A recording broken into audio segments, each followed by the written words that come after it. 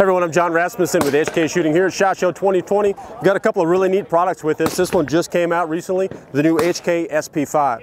So it's essentially a pistol version of the MP5. You know, we haven't had an MP5 style firearm available to us in the States here for about 30 years, but we do now. So this gun ships in pistol form with the thought that most people are probably gonna stamp it and put a stock on it. But even if you don't choose to stamp and put a stock on it, it still accepts uh, all pistol braces, all normal MP5 accessories. The neat thing about this gun is that it's straight up MP5. It's built on the same factory by the same people using the same parts who've been making MP5s for years. So you get a lot of really good upgraded features that are only found in the MP5. You get the F-marked bolt carrier group, the extended ambidextrous safety selector levers, the 8.9 inch Navy barrel with the tri-lug adapter, and it's also threaded for 1 in 28, so you can put whatever suppressor or direct uh, thread suppressor or can um, or muzzle device that you want on there. So you get all the good quality of the MP5 that you can't get in a clone, that you can't get in a home built gun, uh, all direct from HK in pistol form.